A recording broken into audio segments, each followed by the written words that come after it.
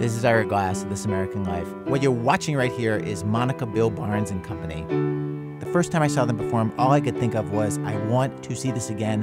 How do I see this again? How do I bring everyone who I have ever met to this? And so I organized an entire live show episode of our program that we did on stage last May, beamed into movie theaters all over the country, because I knew it would give me the excuse to show other people what I saw. I mean, seriously, look at that.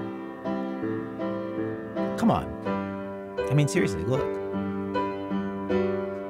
Many of the pieces seem organized around these very real seeming moments of human awkwardness and false bravado and just sheer joy sometimes.